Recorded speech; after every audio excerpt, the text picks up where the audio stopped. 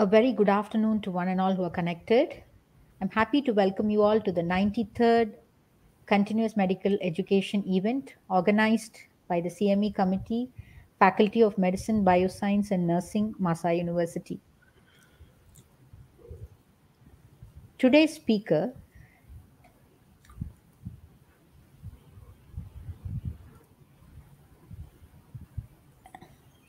is Madam Sharon. She's a psychologist and head of the unit of psychiatry at Faculty of Medicine, Bioscience and Nursing, MAHSA University. She joined MAHSA in the year 2015 and she has been working in the Department of Psychiatry where she's involved in teaching uh, psychology uh, for MBBS clinical years for year four and year five. And she's currently the head of the unit of psychiatry. She previously worked for the UK National Health Service, where she was involved in training health professionals in the psychological principles of behavior, behavior change. She has also held various teaching posts in UK universities, teaching health psychology to both undergraduate and postgraduate students. In addition, she has vast experience of teaching psychology to medical and non medical students at both undergraduate and postgraduate levels. She is currently the Chief Research Officer for a tobacco harm reduction research project in Malaysia and is currently a reviewer for the medical education journal, The Medical Teacher. And today she's going to deliver a talk on resilience and mental health.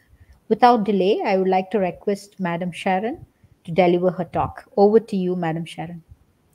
Hello, good afternoon. Thank you very much, Dr. Deepa, for that uh, wonderful introduction. Um, I really appreciate that. I would like to say a big thank you to everybody listening, uh, colleagues of the faculty and the wider academic community. Um, I'm very grateful that you are spending your time on Friday afternoon to listen to me. I really appreciate that. Okay, without much further ado, I'm going to be talking about resilience and mental health.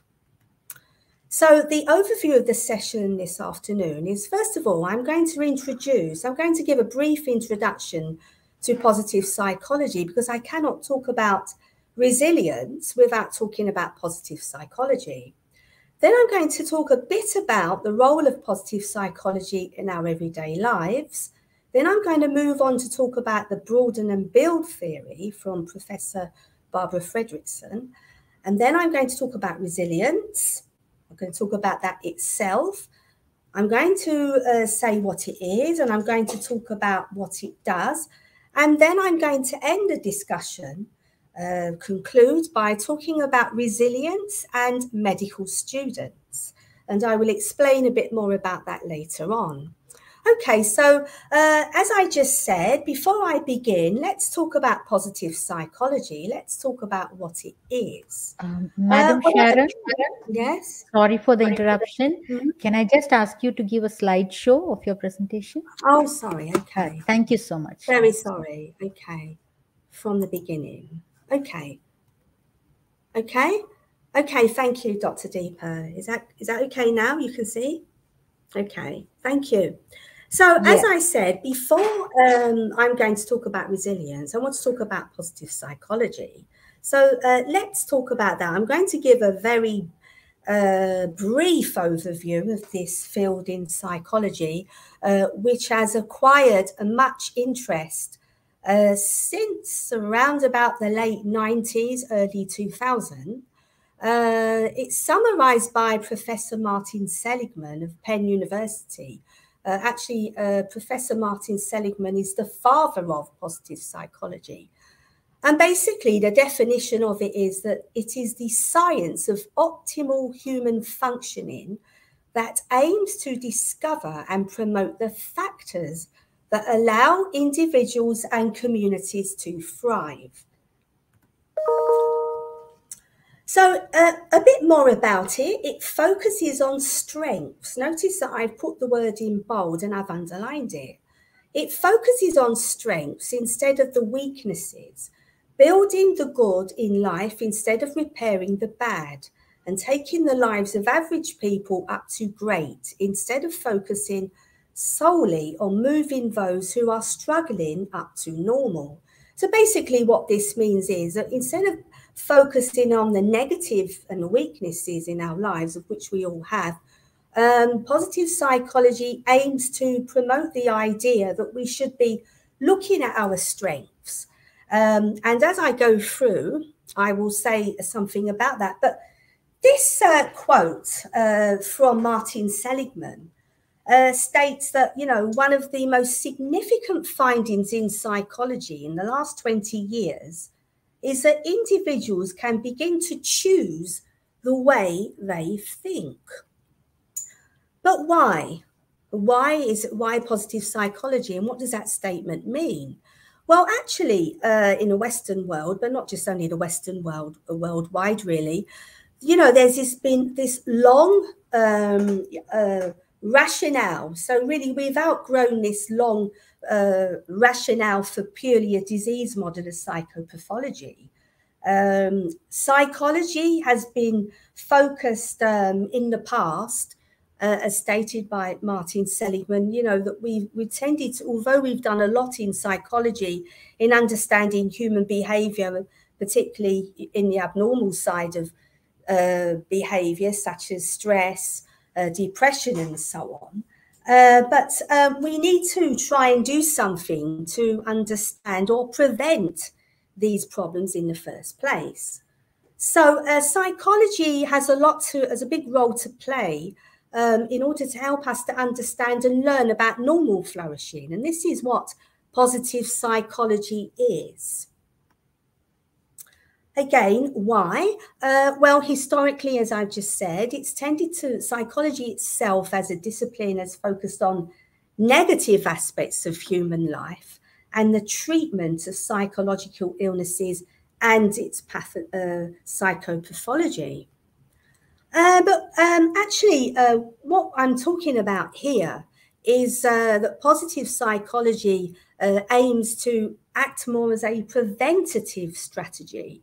Of course, it doesn't solve everything to do with psychopathology. Um, you know, there's, the depression exists, stressors exist, anxiety exists. Uh, but uh, in the field of positive psychology, the focus is on what we can do to try and prevent these kinds of problems. So Martin Seligman uh, came up with this PERMA model of well-being in 2011. Um, and basically what he's talking about here is positive emotions. Positive emotions are an essential part of our well-being. Um, happy people look back on the past with gladness, look into the future with hope, and they enjoy and cherish the present. When we go down to the E, we're talking about engagement. When we focus on doing the things we truly enjoy and care about, we can begin to engage completely with the present moment and enter the state of being known as flow. So, what that means is, you know, um, real concentration um, and passion um, for what we do. Then, if we talk about relationships, everyone needs someone. Um, and so we can enhance our well-being and share it with others by building strong relationships with the people around us. You know, it could be family, friends, co-workers, neighbours, and so on. And then if we look for meaning in life, we are at our best when we dedicate time to something greater than ourselves. So for some people, this might be religion, it might be community work, it might be family, politics, a charity, a professional or a creative goal. And then when we go to the A part, we go to the green uh, square, we talk about accomplishment. Um, everyone needs to win sometimes. So we want to achieve well-being and happiness. We must be able to look back on our lives with a sense of accomplishment. So in other words, I did it and I did it well. Uh, whilst this might sound very kind of flowery, um, actually there is a lot of research in the field of positive psychology you know, which has um, had a, a good um, promotion of this idea in the field of mental health. And I'll say more about that a bit later. Uh, Barbara Fredrickson um, is a professor also working alongside Martin Seligman, and she came up with this broaden and build theory. So you can see there on the, the, the smiley face, um, she has studied the value of positive emotions and the positive affective experience which contribute to and have a long lasting effect on our personal growth and development. But how does it work? So, like all theories, we need to understand a bit more about how does this actually work and what, what is it? Uh, well, positive emotions broaden our thought action repertoire. So, in other words, um, positive emotions broaden our attention and thinking um, at a very basic level. You know, if we experience positive emotions like joy or interest, then of course that's going to broaden our repertoire. Um, and I can liken that to the reward and reinforcement principles, very basic learning principles in psychology. You know, you experience something pleasant, rewarded, and so that reinforces. And, you know, and we can do this. It's not simply um, that we can't do it. There are things that we can do to help us to do this. Um, and we are more likely to be creative and be more open minded and flexible within this uh, broaden and build theory. Positive emotions undo negative emotions. So, according to Barbara Fredrickson, it's difficult to experience both positive and negative emotions simul- simultaneously. But what we can do is build a deliberate experience of positive, of positive emotions at a time when negative ones are dominant. So we can therefore undo lingering effects. So uh, what that means is, again, you know, the, the positives, if we look at it in layman's terms, the positive, positives outweigh the negatives if we allow it to do so, if we can train our minds to do that. Positive emotions enhance resilience. Now, I have put that in red because later on I'm going to be talking about resilience. Um, you know, and in the, the recent COVID pandemic, you know, we have heard, you know, mental health problems are on the increase, uh, suicides, um, you know, people have lost their jobs, people have you know, lost uh, family members and so on. I'm not saying that the COVID 19 pandemic has only just seen, you, you know, that happen, but with COVID, um, I believe that, you know, it has um, enhanced our understanding of mental health issues to some degree. So, positive emotions enhance resilience. So, things like enjoyment, contentment, satisfaction, friendship, and love enhance resilience and therefore the ability to cope. So, um, you know, we can also uh, look upon positive emotions, emotions as enhancing problem focused coping and reappraisal.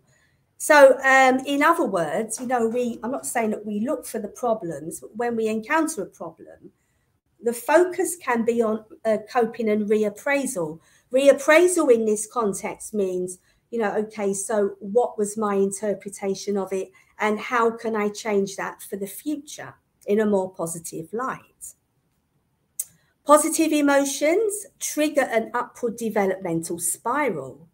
So they help to build important physical, intellectual, social, and psychological resources.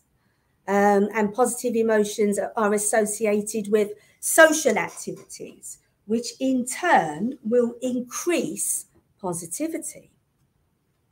So the broaden and uh, build theory, basically what I'm talking about here and what this theory um, proposes is that it can help individuals to consider positive emotions in order to help build a better life. So the emphasis on accumulation of psychological resources.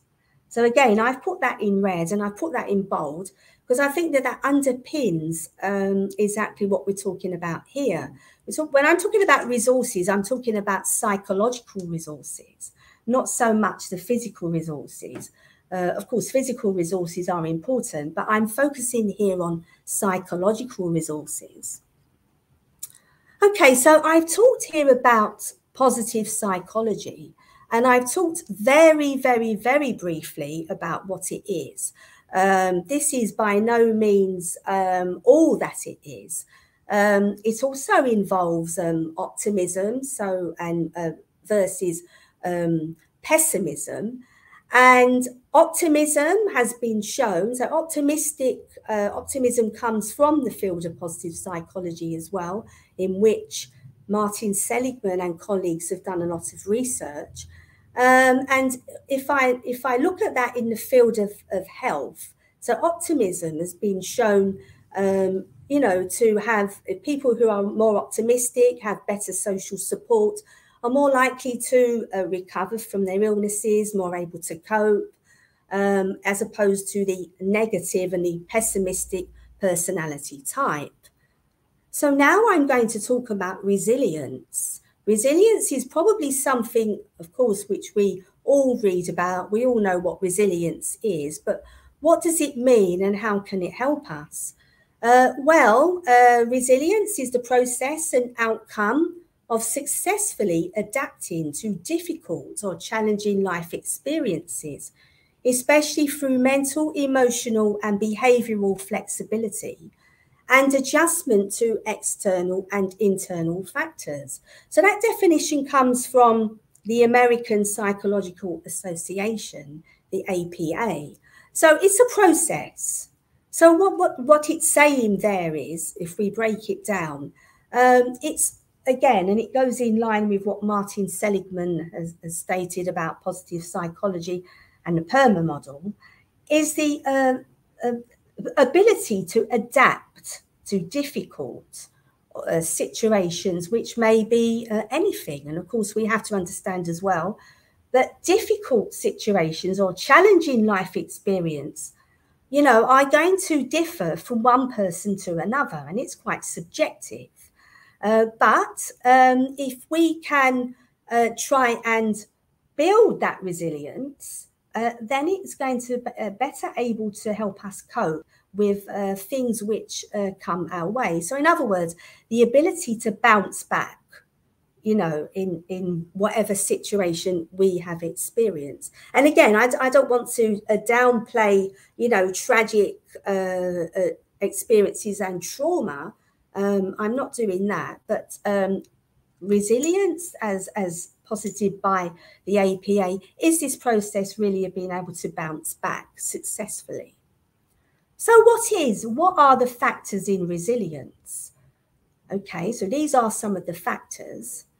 Having the capacity to make realistic plans. So, making realistic plans, of course, um, are, pla- are plans which are within the realm uh, of our capabilities being able to carry out those plans, being able to effectively manage one's feelings and impulses in a healthy manner, which can, of course, sometimes be quite difficult. Uh, but we have to be able to do that if we are to remain resilient. Having good communication skills. Communication skills, of course, are the bedrock of communication, especially if we are working with others in the field of medicine, for example, um, in the field of education. And by the way, uh, positive uh, psychology has been used in, in education. There's a whole book about it and a whole study which has been carried out in Australia by Martin Seligman and colleagues, in which he's looked, he's applied the principles of positive psychology to education. So there might be something there that we can we can do with this having confidence in one's strengths and abilities, and having good problem solving skills. Now, all these sound very well um, and may not be easy for all of us to do because we have to remember as well that many of these things, um, you know, are based on personality type and certain uh, situations. But nonetheless, um, we can certainly, um, using this model of resilience, uh, uh, try to do that. And I believe this is something that we can do for our students. And I'm going to talk about that at the end. Um, so we're talking about deconstruction of a specific problem by understanding how the beliefs, how somebody's belief about a specific problem cause them to feel a certain way in the first place. So not the event itself. So deconstruction means, of course, to pick something apart, to evaluate and to evaluate in both positive and negative ways. But more on the positive side. So if we look at Martin Seligman's model of ABDCE, so there is a model. So uh, in the field of psychology and social science, we like to have these models. I prefer to call them frameworks, but they call them models. They are frameworks in which to help us to understand certain situations or events. So let's say, you know, somebody has an experience, a situation. There's an adverse situation that has happened to somebody. Uh, this is where somebody um, might look at the situation, uh, which calls for a response, but what kind of response is that going to be? Is it going to be positive or negative?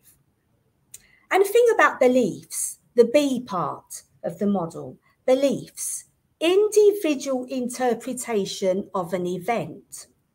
So, an individual's interpretation of event, of course, as I've just said uh, just now, uh, can be subjective. Everyone's individual interpretation is going to be different. After all, that's why it's called individual, idiosyncratic to that person. And the consequences, the C part of, of the model, you know, the way we behave, in response to a given situation. Are we going to be positive? Are we going to be negative? Are we going to be emotional? How are we going to handle it? And disputation, disputing the evidence. So, in other words, you know, if we're rather upset about a situation, um, let's look at the evidence for it.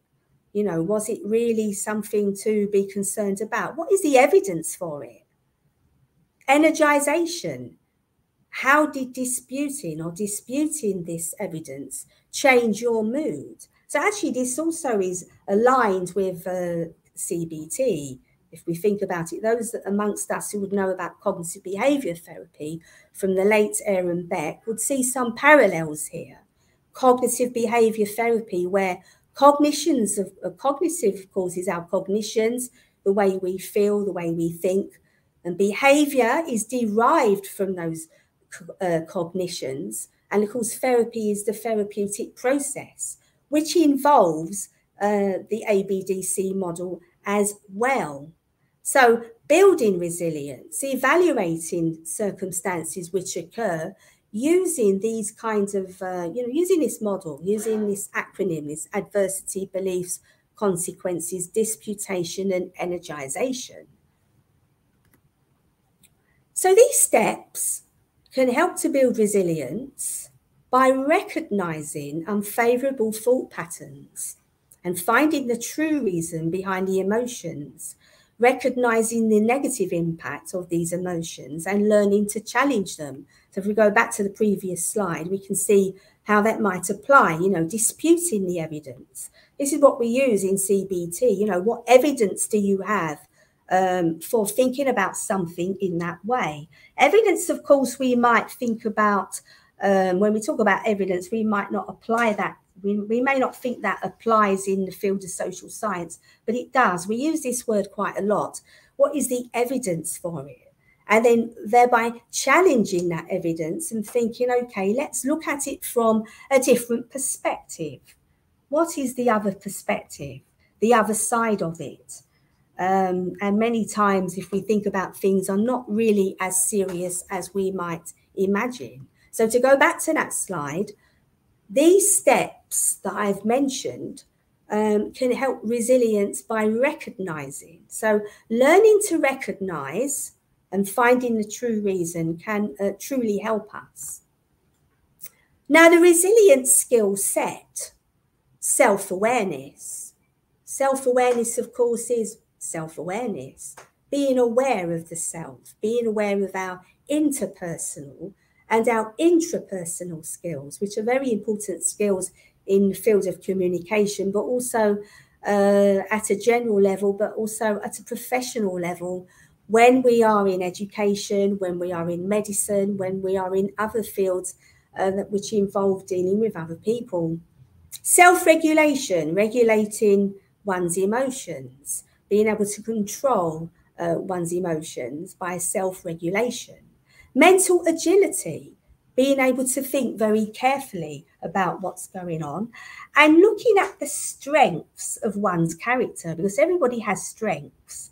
Everyone has strengths, everyone has weaknesses. So we need to draw on the strengths rather than the weaknesses. And connection. Connection is connecting with others. Social support, which has been well documented uh, in the literature um, to help people uh, cope with mental illness, cope with illnesses, cope with everything. And optimism, which I mentioned earlier. Optimism, which comes from uh, Martin Seligman's positive psychology, uh, which he did a lot of research on optimism versus pessimism, uh, pessimistic type personalities. Now, um, I want to go to the what is known as the full Penn Resilience Program.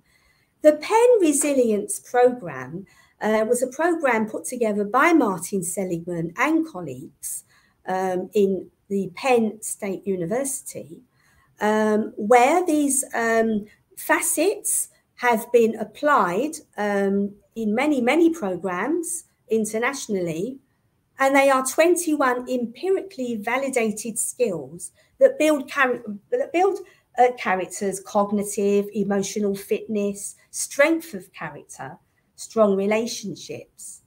And the skills included in each program vary based on the needs of the client and length of the program.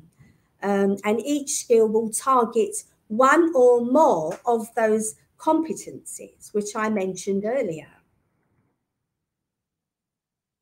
So this has been used, this Penn Resilience Program has been used in practice worldwide. And as I said, was designed by Seligman and colleagues in 1999. Um, and this, this is a training program and it's a plan which is based on cognitive behavioral theory, uh, which I mentioned just now, cognitive behavior therapy from the late Aaron Beck, uh, Judith Beck, uh, Aaron Beck's daughter is now uh, running, uh, continuing the tradition of CBT um, and continues to practice and carry out research uh, in America. Um, this is a worldwide, uh, well respected therapy that's used for depression, anxiety, and so on. Um, and, you know, this program has been used in schools as well, and it focuses on improving students' cognitive behavior and skills, cognitions. Now, this uh, program, uh, this resilience program, so now I've talked about, okay, I've talked about positive psychology, I've talked about what it is, very basically, very, very basic um, introduction to it. I've talked about uh, resilience and what it is, and now I'm talking about the implication or what this kind of program might mean for medical students. Uh, because there have been quite a lot of studies carried out with medical students. Now, I'm not saying it's only for medical students, but because we are in the medical field, um, I would thought I would use this um, as an example. Um, and it, as I say, it could be something that could be easily applied. Uh, the Penn Resilience Program um, explored the positive and negative emotions, emotional regulation style, and resilience amongst Chinese medical students. And they use questionnaires. So, questionnaires are used to assess resilience, positive and negative emotions, and emotional regulation styles. And this program, this training demonstrated that resilience could be learned and trained people can be trained uh, in resilience and they can learn resilience. And by doing so, it can improve emotional management, communication skills, interpersonal relationships, optimistic thinking, and self efficacy of students, which was found to be crucial to the enhancement of their resilience. So, what I'm, I'm saying here is uh, involved, included in all of this um, previous points that I made. Uh, these, I believe, um, from my experience of teaching medical students, and of course, in, in recent times, you know, we've seen, you know, that there is a, a problem for students. Again, I'm talking about medical students, but I'm not just limiting this to medical students only, but I'm, a, I'm thinking about it in, in um, in line with medical students, knowing that you know uh, they can encounter a lot of problems, both in their studies and in houseman. And I'm thinking that you know this could really help students, and it's been shown. This is only one study. This is not a whole load of studies. I mean, loads of other studies which have been done, but I'm only just talking about one. Um, and I think that you know if we think about um, some of these facets, uh, we can see, you know, how um, this can be applied in the real world, and it has been applied, um, and that's been shown to be uh, successful in in helping. So um, this is a, sort of quite a short uh, presentation, really. Um, not really doing it a great deal of justice because it's a big field. Uh, but I would just like to say uh, in conclusion, I've given a brief overview of this field of positive psychology, the PERMA model, and resilience. Um, and I feel that resilience can be used to foster good mental health, not only in medical students, but in the general population, not just only um, students, generally. Um, and that by building resilience, um, and fostering better mental health. I'm not saying it's going to solve the problems of depression, anxiety, and so on, but I certainly believe that you know it can it could be used as a protective factor, and it has been shown uh, to be used as a good protective factor. So uh, this is about all that I have to say. I've put the link there about this resilience program um, and the resilience skill set and other references um, that you might find useful. Uh, and I would like to say thank you once again for your attention. I really appreciate it. And this is my email. So if anybody has any questions, uh, afterthought questions, uh, please feel free to email me and I'll be happy to um, address your, your questions. So thank you very much. Thank you. Thank you very much, Madam Sharon, for your wonderful presentation. And uh, you have given us tips of how uh, we can better manage our stress when we choose to be resilient. Yes. Yeah. So better well-being. Okay, we will. Um, I, I request the audience to post your questions in the comment box. Okay, many. I think we had one Okay, Prof. Razif Ali. Okay, he has given, he has left a comment. He says, "Wonderful positivity theme in your presentation." Thank you very much, Prof. Razif. Dr. Sharon, I wonder if the students sit with student counselors, then hmm. later mm. with supporting friends to familiarize with coping stress, coping strategies is that that is a, a comment from Prof. Razif? No, he's asking. I think it's a question.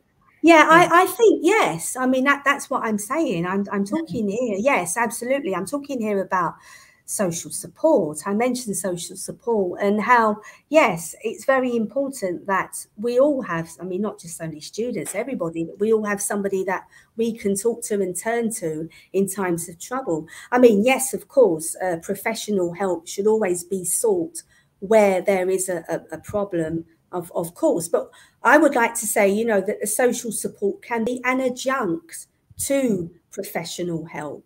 Um, it, it, it is. I mean, there's no doubt that it is. Um, and it's very important. So the answer uh, is uh, yes, uh, Prof. Razif. I, I, believe so. I believe so. Yeah. Thank you. Thank, Thank you. you. So Thank you for that. Thank you for that question. And uh, yeah, that I think the Dato Razak has just thanked you uh, for a lot. Uh, thanks a lot for a nice lecture on resilience. Yeah. Thank you. Thank you very much, uh, Dato Razak. Thank you for that. Yeah. So, Madam Sharon, do you have anything to add on or? Um, no, I, I would just like to say, uh, as I say, I'm going to go back to the beginning. Thank you very much for listening um, to this uh, presentation and taking time to give me the opportunity um, to do that. I think it's a very timely, this is why I chose this resilience thing, because I think it's very timely, um, you know, with the, the problems that um, people have, you know, within, with uh, after having, you know, the COVID pandemic. After all, we're still going through that, mm. but thankfully now we're coming through that the other side.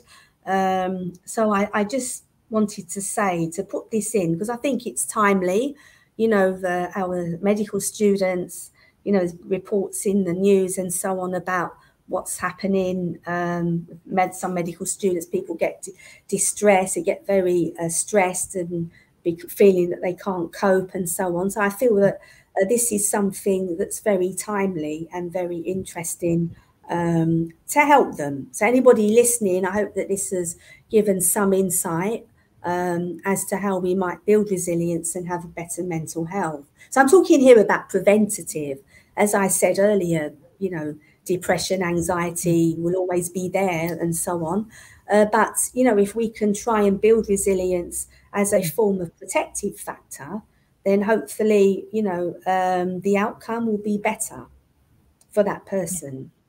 So thank you very much for your time. So, yeah, Ms. Sharon, so you mean to say like building, uh, you're creating trust um, in their own abilities, you know, even with our own students, right? I suppose it, it yes. Yeah. I mean, you say building trust.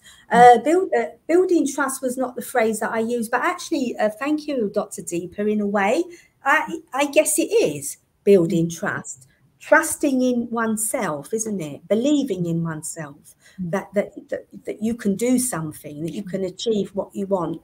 Um, I believe so. I, I, believe that we can actually building trust. I think that's a, a good way to put it. Actually. Um, so thank you for that. Yes, I believe so.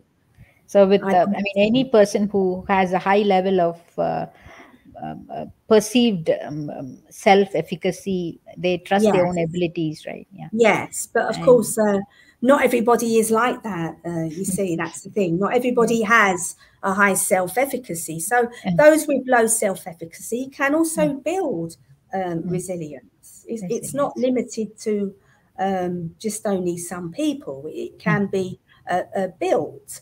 Um, of course, you know, uh, personality types are important as well. It's not mm. just as simple as that. Um, but I believe, you know, that it can, people try, it can help, even if only a little bit. It's, it's something. Yeah.